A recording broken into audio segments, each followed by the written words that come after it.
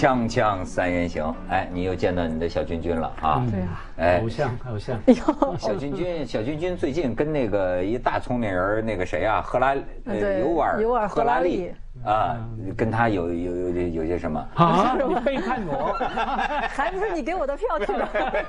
太乱了，太乱了。讲到讲到未来，讲到未来啊，对咱们还是先讲讲这个眼前的现实啊，先讲讲眼前的现实。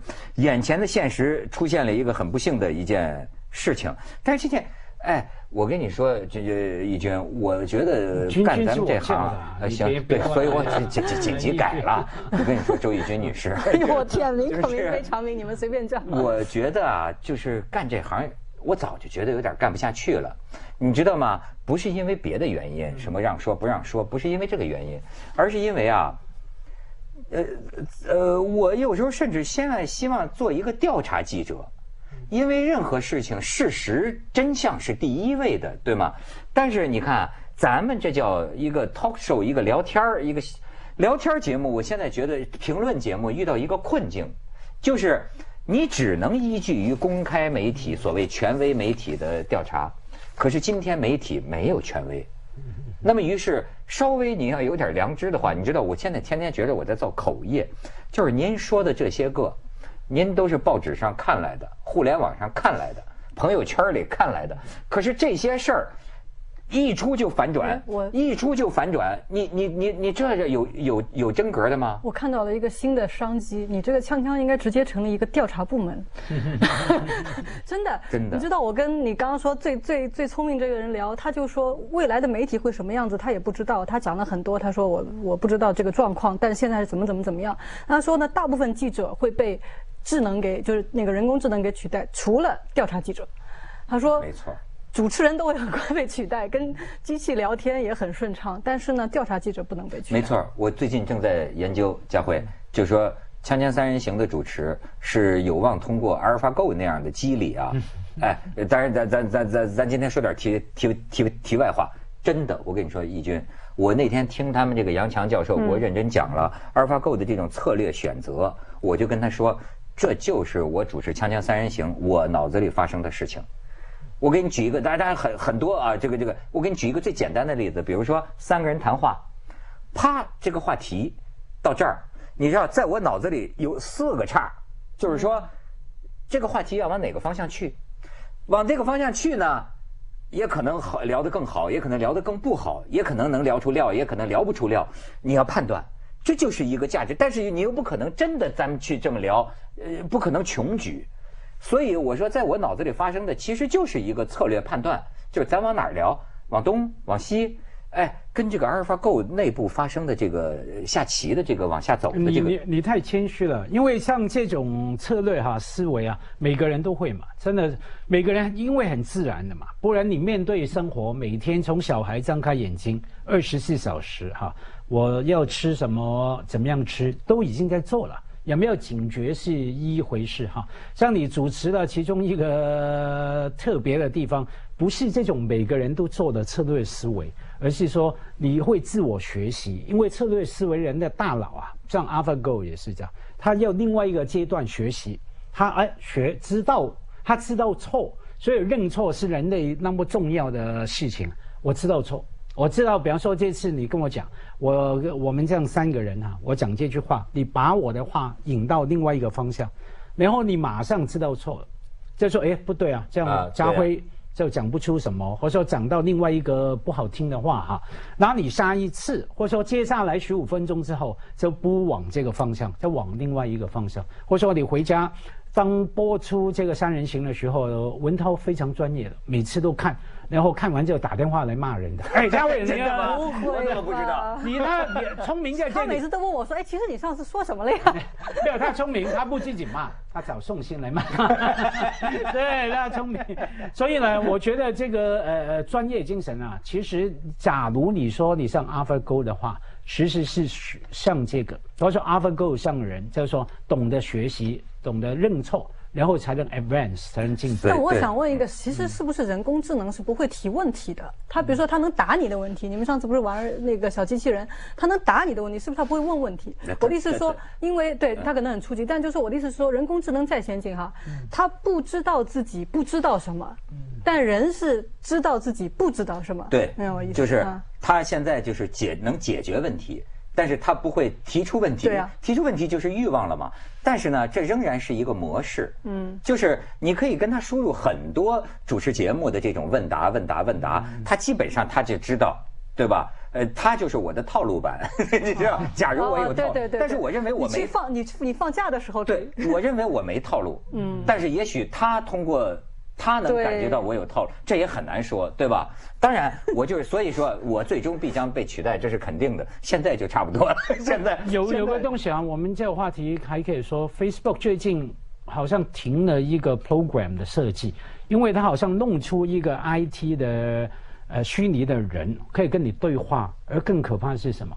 这个人虚拟的人懂得说谎，他懂得骗你，他懂得用一些。虚假的资讯、虚假的话来引导你其他的话语出来。后来 Facebook 还有相关的研究人员哈，就觉得这太恐怖了，太危险。等于是说那个眼镜哈，以前不说有 Google Glass 哈眼睛，说太危险了。对于他们没有准备好，not ready 迎接一个会说谎的人工智能的人物。可是那个说谎也是输入进去的一个程序啊。呃，没有，不是自己产生的要说谎，没有。它慢慢未来很长时间内，人工智能都不会有意识这个东西的。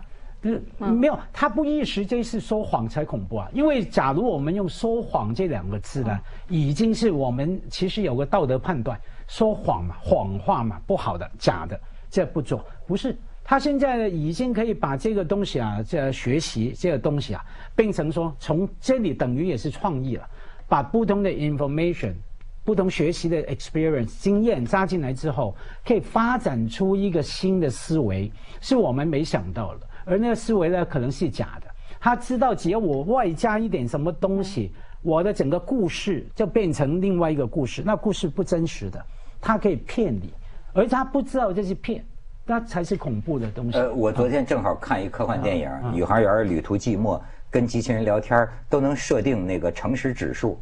哦，哎，想想让他多说点真话，百分之九十五的诚实，百分之六十的诚实，哎，当他他的谎话里边呃，还有幽默指数，哎，这玩意儿展示，所以当然家辉指出的这个东西就更可怕了，就是说这个，要是将来机器、人工智能甚至接管了这个，比如说政府管制，有人说还是接管国防，好家伙，他还会撒谎。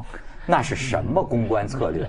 你知道现在一个呃很可怕的问题，我就觉得，当然我们不能说是大面积的问题，但同样我也不是调查记者，我不能说。但是呢，我们不得不承认，至少在中国某些基层单位，比如说这个呃公安局、派出所，他发一个公告，这个公信力到底有多么大，这个是值得探讨的，对吧？就比如说，为什么我就想想这个事儿，就说起来啊。就是在这个河河南吧，周口吧，周口下边有个西华县，发生了这么一个事儿，最近闹得特别大，就是一个十二岁的小女孩说被她副校长被俩俩俩老师强奸我十好几回，然后她的姑姑就发了个微博，轰动这个呃网络网网网络呃舆情，你可以看看这个这个这个图片是吧？就是你看这是她她姑姑发了，她姑姑发了呢。好，就是说，你看我侄女，我我侄这都是化名了啊，侄呃这侄女投诉，然后呢，这个警方他说的是这个当地县的这个警方啊，不予立案。哎，警方给我们一个不予立案通知书，然后你再看下边，这个县的警方发了这个呃这这这这个小女孩还还举着这个东西说这个性侵数十次啊，这个救救我什么的，然后你再看下边，好。这就是这个西华县公安局不予立案通知书，因为就说据这个公安局的讲呢，就说呃做了这个医生的鉴定，说是处女膜没有明显的这个裂伤，呃，但是当然也有人说性侵也不见得处女膜非得伤啊，对吧？然后你往往下看，但问题在于呢，这个事儿闹大了之后，抨击更高一级的周口市公安局说话就谨慎一些，说我局已经注意到网上反映西华县的这个女生被强奸啊，有关公安机关不予立案的舆情，我局决定啊，由市公安局组成专案组，联手对该举报案情的这个调查。那意思就是说，哎，重视大家的这个舆论啊，就是更高一级的公安局组成了专案组。你再看下边。好，这又是什么？这个西华县公安局七月四号关于对这个网民，就他这这他姑姑啊，发布严重失实的一个情况通报。你知道有意思的是，最新消息呢是还是你们以前的这个新华社还是什么？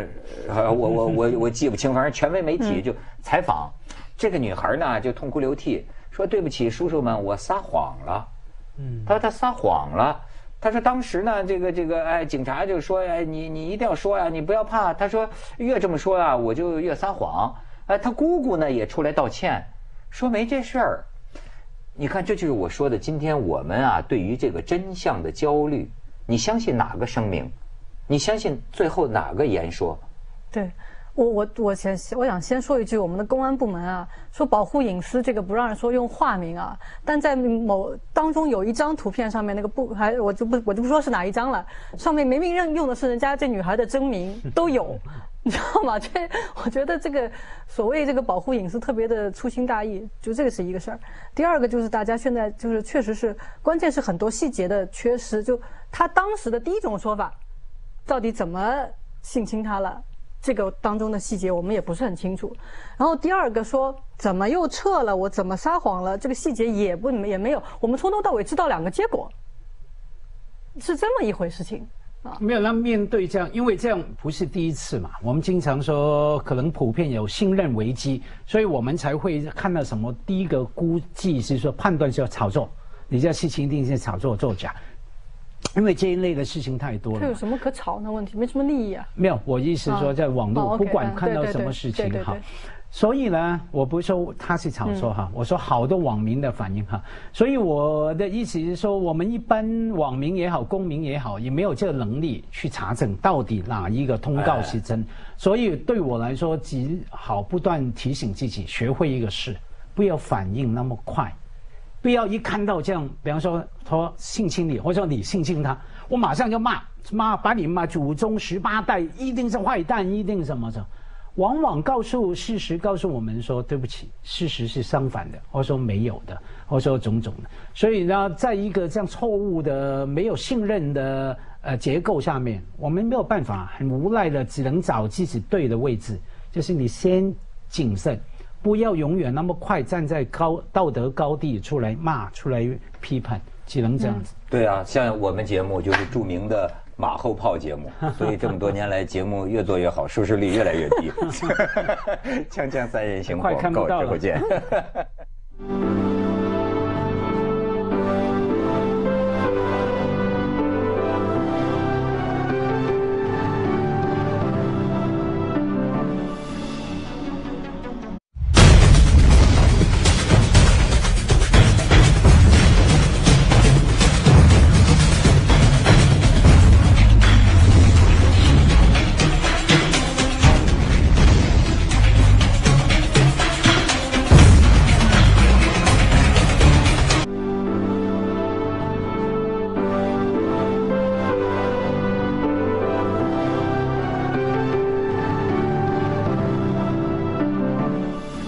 看，我现在就可以给你示范。假如我是这个阿尔法狗文文涛狗的话，你看我脑子里就分叉。哎，咱们聊这个事儿，咱们是往哪儿聊呢？哎，有个这个策略网络。哎，咱们是聊这个今天的青少年，有时候孩子最爱撒谎的这个这个方向，呃，聊聊下去有希望呢？还是咱们聊聊这个公安局的声明，呃，如何有公信力啊？办案是不是程序上有问题？还是往这个地方更有希望呢？结果你看。文涛狗的选择肯定是聊聊孩子撒谎的事儿。你看看这个，其实这个有希望。其实我每次在上节目之前啊，我在做那个 research 的时候，我有时候我也会在猜文涛的套路会是什么。别问一个完全我不知道的事儿。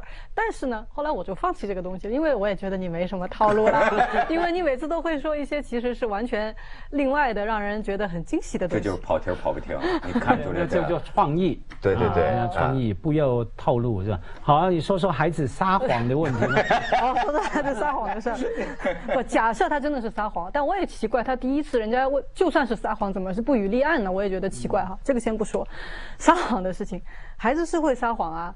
那个有一个，你的孩子现在当然会，现在进入就是开始说一些其实没就是没有影的事儿，会的，而且他会编。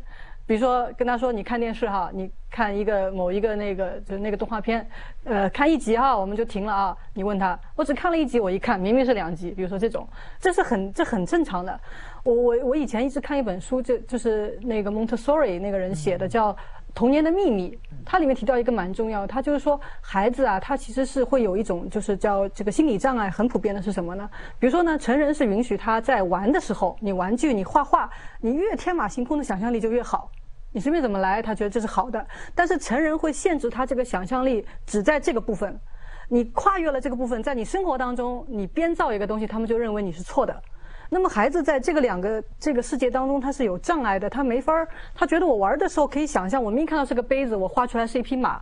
为什么我在另外一个里面我不能这么去说？他是有障碍的。哎，我问问你，他们有我看过一个说法，就是说三岁以前的孩子撒谎没有罪的，就是不不是错。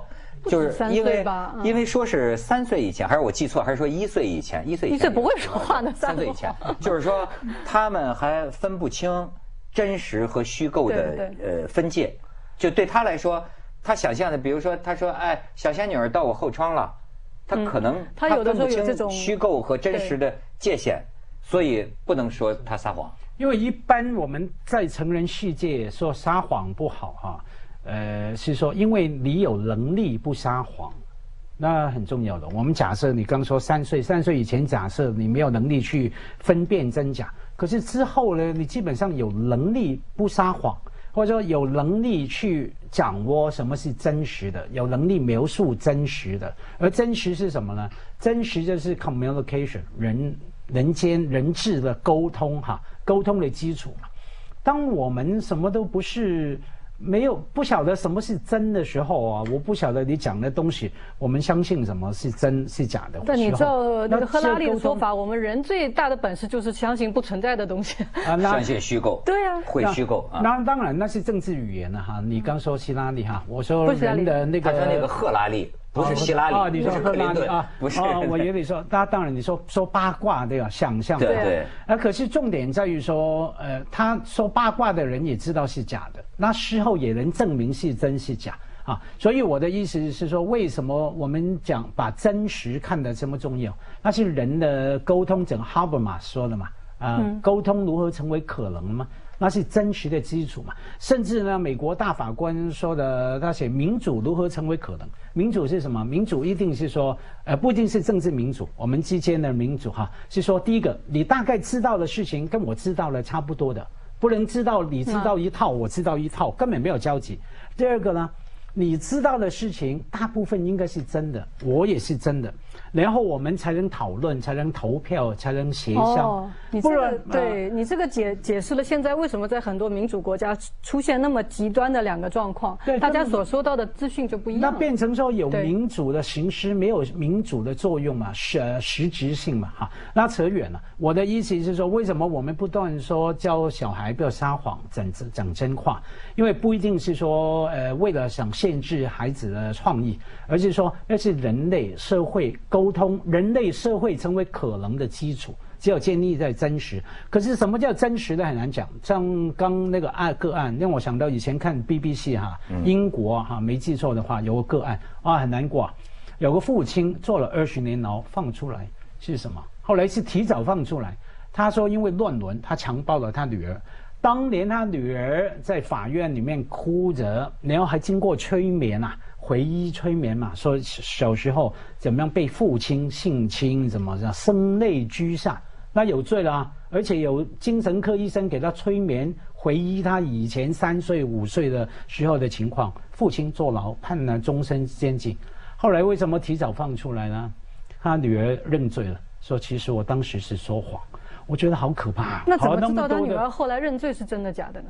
那 who knows？所以就是哈，可是至少在那个 moment，他认罪，他讲出一套的说法，说什么呢？因为当时就是几个那这样的医生，什么心理医生，我坐在那边压着我在催眠，我都想睡觉了，不让我睡觉又要我睡觉，一直催眠我，我就配合他们的说法，而且我当时很痛恨我爸怎么爱我姐姐比较多，有时候对我打骂，然后我就说谎了，说对我父亲强暴我，他有侵犯我，其实完全没有，所以他后来成长嘛，内疚嘛，所以我我没有说这个。呃，内地荷兰的个案怎么样？我说什么是真，什么是假呢？像小君君，你刚你说对，到底是以前催眠是真的呢，还是后来认错是真呢？但是那个蒙特梭利的这个讲法，就是说他的意思说啊，这个这个我们现在人为什么能说的，就是我们觉得这个撒谎是坏事，是因为我们经历一个叫正常化的一个过程，就是成人就是正常化嘛。他说：“这个小孩子有了这种所谓精神的这个所谓障碍啊，他不是病，是个障碍呢。他不一定一定要通过这个去撒谎这个办法，而是他会有各种各样的表现。他甚至于这个小孩子变得他很恐惧，或者是孤僻或者什么的。但有的小孩子呢，他说就像一棵树长出来一根枝，他就是会撒谎。他这个撒他撒谎的不一定是他恨他撒谎的那个对象，而是他在成人的世界当中受到了某种。”规管他很想反抗，又不敢反抗。你比如说，假有这里边有一个信息的缺环，就是假如这个十二岁小女生，假如她是撒谎的话，她为什么撒谎说她被两个老师强奸十多次？你你你猜测有可能为什么呢？他我看那些就是心理学的例子，呃，就是他也举了例子说，有一个小孩说他的这个老师很欺负他，但那个妈妈去了学校问校长，然后佐证各种方面，发现那个老师对他其实特别的好。但是他是什么原因呢？其实他在家里面或者其他地方，他觉得自己受规管的太多，他不一定是针对这个老师，其实有各种各样的原因。啊，有没有可能有一种叫受迫害妄想狂？嗯，有啊，但这个是成人的语言了，但也可能是这个老师，我们不知道，他这个老师可能对他某种很，就说照顾的比较多，太多了，他反而他不喜欢，都有可能啊。对，所以而且呢，甚至于这个话题啊，还还得翻回来。就是说，你你知道，就是有点可悲的一个地方，就是还是我就说，还是关于这个真相。嗯，呃，就是为什么不要掩饰真相？为什么呢？就是人与人之间的，我现在总是发现呢，我们要珍惜人与人之间的信任，太脆弱了，真的。太脆弱了，就是包括我们之间勉强达到的一个平衡，那都是很脆弱的。我现在有时候觉得生活里啊，有些人不太珍惜，就是说，比如说我们这种互利互互怎么互惠的某种平衡，你别要求太高，就大家呢都是刚好忍到这个程度，不要破坏这个平衡。我我我说远了，我说这意思就是说，你比如说为什么有点可悲呢？你按说我到今天来说，公安局发了声明。我还是选择相信公安局的，要不不那我那我总不能说相信这个一个某个市民的。可是实际上，你看西华县的发这个声明，周口市的公安局发的这个声明，怎么你觉得有一部分网民吧，至少他根本就觉得，因为啊，网民变成受迫害妄想狂了，你知道吗？就是说，就是说，你比如说按照我这个。我今天我说我现在也不是文涛狗了，我是受迫害妄想狂。我受迫害妄想狂，我甚至能够假设你们谁说的我都不信，因为什么呢？我知道，就你这么个小女生，你就是真被强奸了。假如有某种强大的势力在那个地方上，一样可以绑架你，让你出来道歉，让你说你没被强奸，让你说你撒谎了，为了把这事儿给铲平了。我，我当然我这是受迫害妄想狂的这个妄语了，对吧？咱们去下广告，锵锵三人行，广告之后见。